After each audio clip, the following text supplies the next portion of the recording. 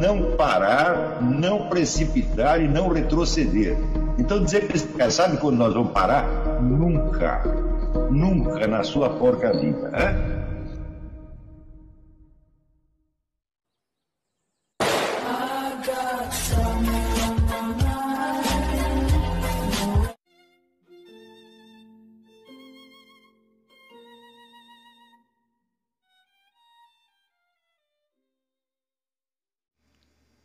E aí pessoal, tranquilo?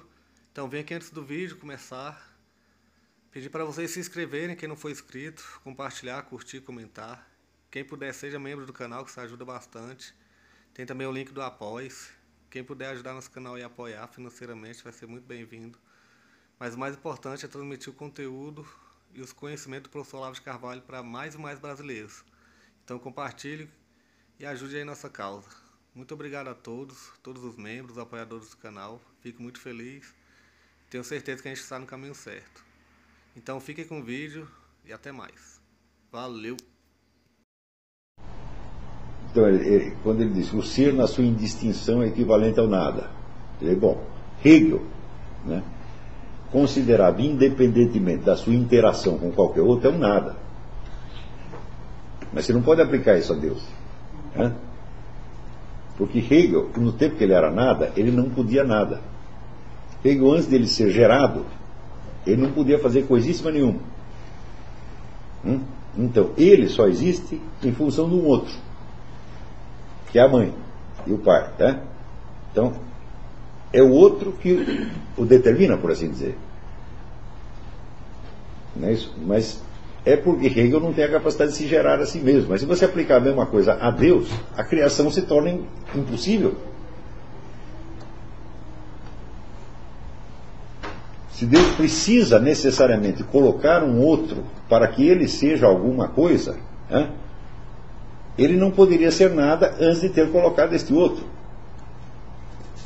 Mas se ele não era nada, como é que ele podia inventar o outro?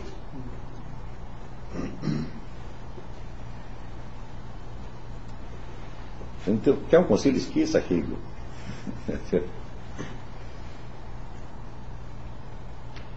Hegel, a filosofia de Hegel vale por causa de certas análises particulares que ele faz de certos processos históricos. Aí ele é brilhante, mas como esquema geral, aquilo é um absurdo completo.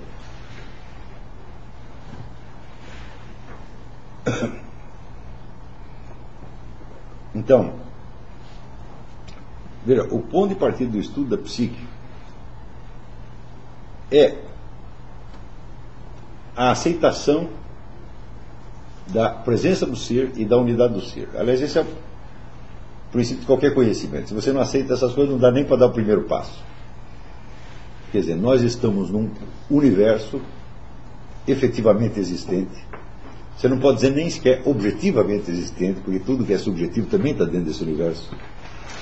Então, nós dizemos que é um universo efetivo, não objetivo. Hein? Efetivo quer dizer, ele não é potencial no sentido da, da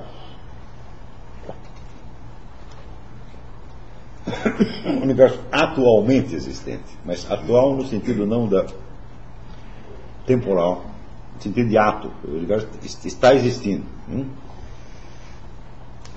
Ele está presente na sua totalidade e não somente em parte.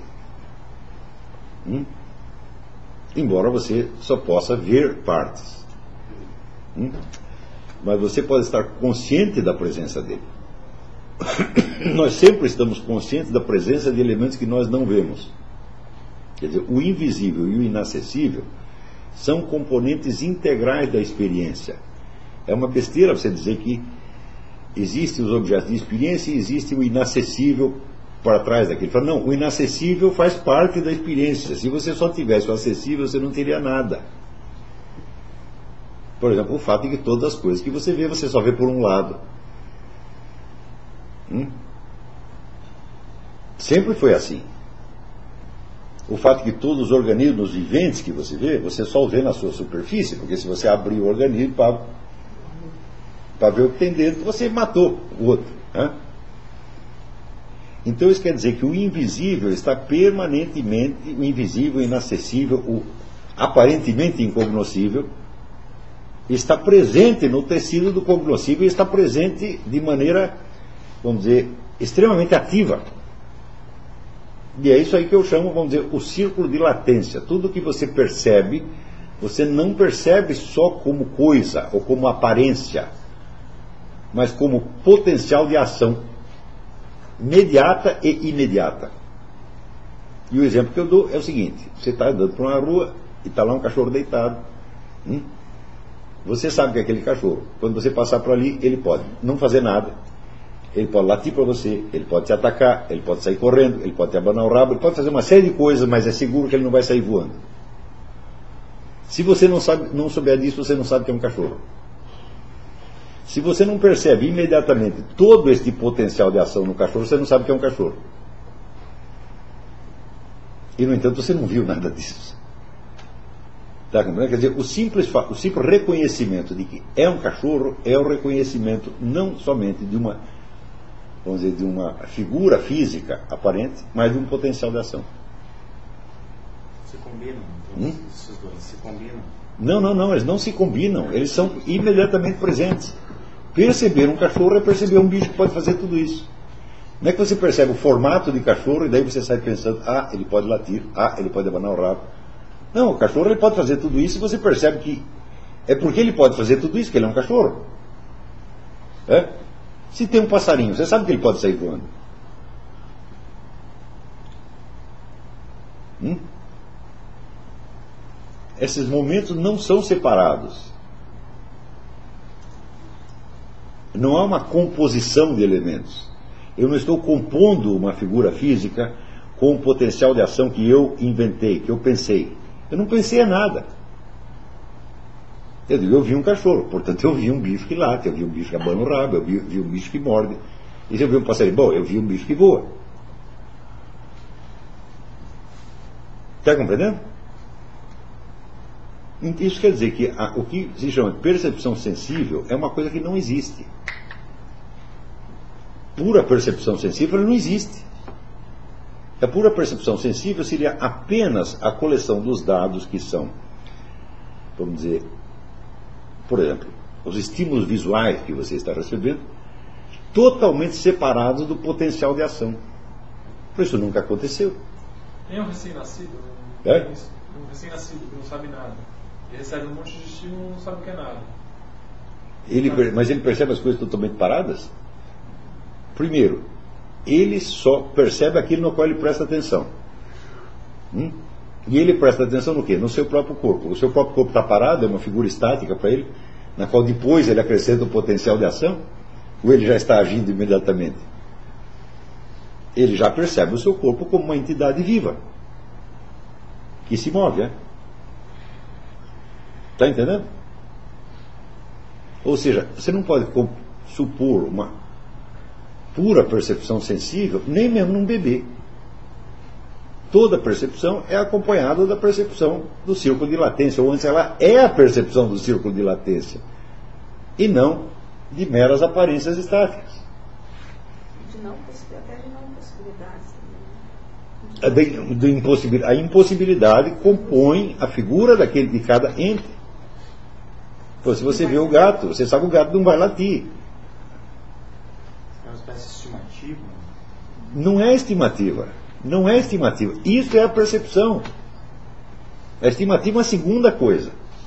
Quando você começa a avaliar conscientemente. Eu digo, se você vê o cachorro, você sabe que ele pode fazer tudo isso. Agora, o que, que ele vai fazer? É? Daí eu olho o jeitão dele e parece que ele vai me atacar. Isso é estimativa. Para fazer a estimativa é necessário que você tenha percebido o círculo de latência, senão não dá, porque vai estimar o quê? Está compreendendo? Então você percebe um conjunto de possibilidades latentes que está ali, vamos dizer, presente de certo modo. Está latente, mas latente quer dizer escondido. Ele está latente, mas está, na verdade, está latejando, está quase aparecendo. Está certo? Só que daí você quer avaliar o que, que pode acontecer. Daí entra a estimativa. Ou seja, dessas várias coisas que ele pode fazer, o que, é mais provável que ele faça? Hum?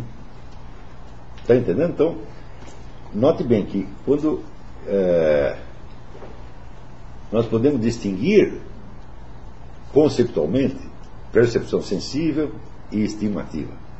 Mas essa distinção é só conceptual, ela não existe na realidade. São dois nomes, mas não quer dizer que essas coisas apareçam separadas. Quer dizer que entre o que nós chamamos de percepção sensível e a entrada em cena da estimativa, tem uma outra coisa. É um imediato e imediato. Sim. Quer dizer que perceber um ente é perceber imediatamente o que ele pode fazer e o que você pode fazer com ele. Senão, o mundo seria uma coleção de figuras estáticas que só se animaria pelo seu esforço de imaginação.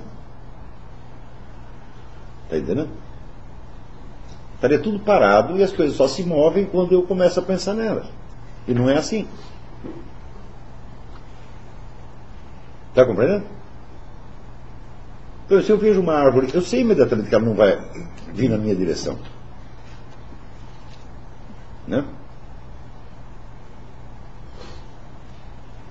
Exceto o meu filho Pedro. Ele vê um poste e o poste avança velozmente na direção do carro dele. é? Eu poste bêbado. Poste bêbado.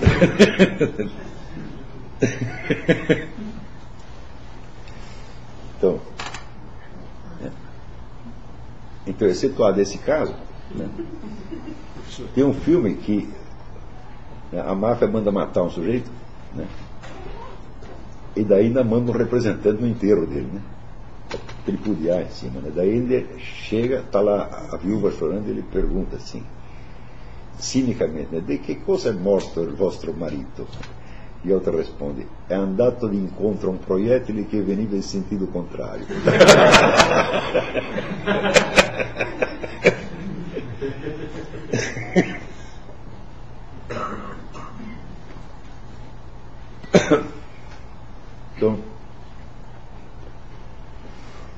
quer dizer, nós não percebemos as coisas como meras aparências, hum?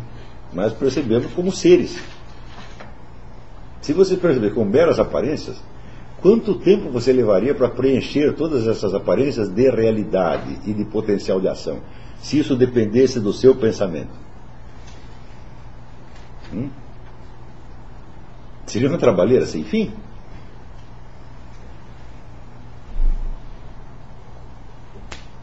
Né? E quando você vê coisas estáticas, né?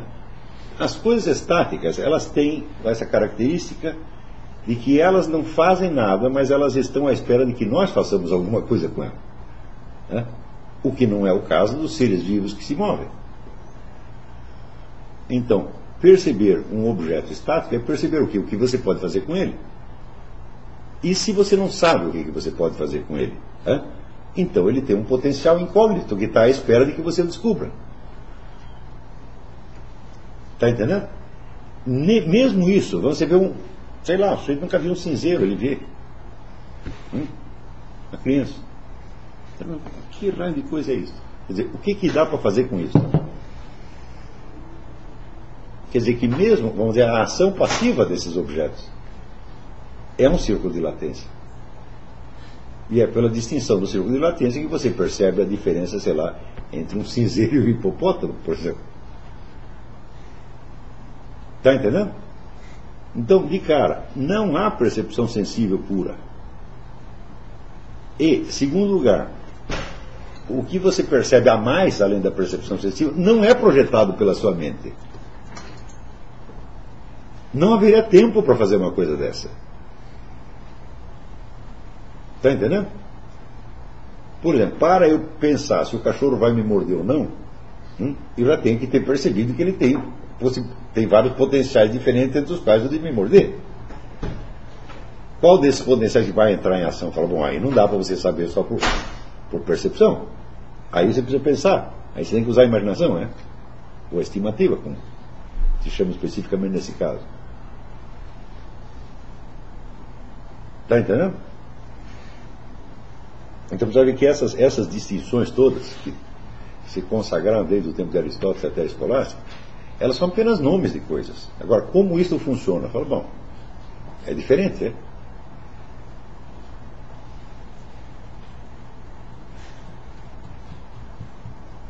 Por exemplo, quando Aristóteles diz assim que nós formamos os conceitos gerais né, pelas similaridades entre os vários seres. Né, quer dizer, aquilo você vai conservando na memória e tem seres parecidos, então você forma a, o esquema geral da espécie. Ele está descrevendo o processo real da formação dos conceitos gerais? Ou apenas o esquema lógico dela? É apenas o esquema lógico. Porque na realidade eu não poderia comparar uma coisa com outra hum, se eu já não tivesse percebido cada uma delas como representante de uma espécie. Hum? Ou seja, eu não posso formar a ideia de espécie por vários indivíduos que eu não sei o que são. Na hora que eu vejo um ser, ele é uma espécie. Hum, daí eu vejo um outro e eu vejo se ele pertence à mesma espécie ou não. É? Portanto, a ideia de espécie já está dada para cada indivíduo. O primeiro gato que você viu, é, ele é a espécie gato. Está entendendo? Quer dizer, a espécie, a, a forma da espécie está manifesta integralmente em cada um dos seus indivíduos, porque se faltar alguma coisa nela, se faltar alguma coisa para ser um gato, não é um gato. Está entendendo? Então o que ele está descrevendo é apenas o esquema lógico interno que está subentendido na, na formação da, da, ideia geral e não o processo real pelo qual ela se forma. Isso aí deu confusão durante dois mil anos. Até hoje tem gente que acredita que nós vemos primeiro os indivíduos e depois as espécies. O que é uma coisa absolutamente impossível. Porque mesmo se eu vou comparar dois indivíduos, eu vou comparar o que de um com o que do outro. Hum? Aqui tem um, um, gato marrom e aqui tem uma bola de futebol marrom também. Hum? Se eu vou comparar pela cor, então o gato pertence à mesma espécie da bola. Mas é assim que eu faço? Não, eu percebo duas formas integrais. E essas, se são formas integrais, já são a, a ideia da espécie. Está compreendendo? Mesmo que a espécie tenha um, um exemplar só. Qual é o sentido lógico, então, disso que ele queria dizer? Hum? É Ele quis dizer que, vamos dizer, que a ideia da espécie, ela contém dentro de si vários indivíduos. Quer dizer que ela está como dizer, um, coletivo né, que abrange vários seres que são idênticos sob certo aspecto. Essa é de fato a estrutura lógica da coisa é essa, mas isso não é. Vamos dizer, ele não está falando de psicologia, está falando de lógica. Então, logicamente, uma espécie é um grupamento de indivíduos que tem certas similaridades estruturais. Né? Mas, psicologicamente, se você vai contar a história da origem da ideia de espécie, ela não pode ter se formado assim. É impossível se formar assim. Então, voltando, nós temos a, a noção da presença do ser e nós temos a noção da unidade do ser. Sem isso nós não podemos conhecer nada, nada, nada, nada, nada, nada, nada, nada. Quer dizer que se entre o ser e o ser mesmo houvesse um intervalo de nada, o ser estivesse entrecortado pelo nada, certo? não seria possível conhecer coisíssima nenhuma. Então, nós estamos, pre estamos presentes diante e dentro de um campo que nós chamamos de realidade, cujos limites nós não conhecemos, tá certo? mas que nós sabemos que está presente a nós na sua totalidade. Nós sabemos que a parte que nos é inacessível está lá do mesmo jeito.